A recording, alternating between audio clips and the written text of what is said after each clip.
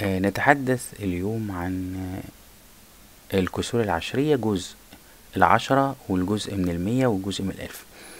النموذج اللي قدامنا ده عبارة عن مستطيل أهوت. المستطيل ده فيه آه، جزء منه مضلل. الجزء المضلل ده يعتبر كام؟ واحد على عشرة.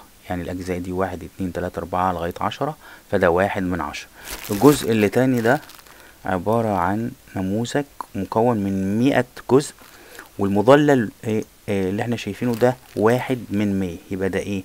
واحد من مية. طب إحنا بن- بنعبر عن الكسر آه، بطريقتين. يا إما بطريقة اعتيادية أو بنسميه الكسر الاعتيادي ونقول واحد على عشرة أو واحد من عشرة.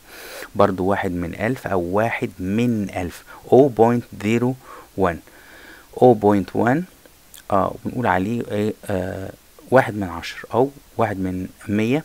أو ده نموذج ده واحد من ألف. الواحد جزء من ألف جزء فبنقول عليه واحد من ألف أو واحد على ألف. طب لو إحنا قلنا إن الجزء المضلل ده ميتين وحداشر على ألف هيبقى إيه؟ نقرأه إزاي؟ نقول مئتان وأحد عشر جزء من الألف. الجزء المضلل ده عبارة عن واحد واحد صحيح أهوت ده مربع كامل والجزء ده فيه تمانية وستين وحدة مضللة يبقى واحد وتمانية وستين من الألف يقرأ واحد وثمانية وستون جزءا من الألف.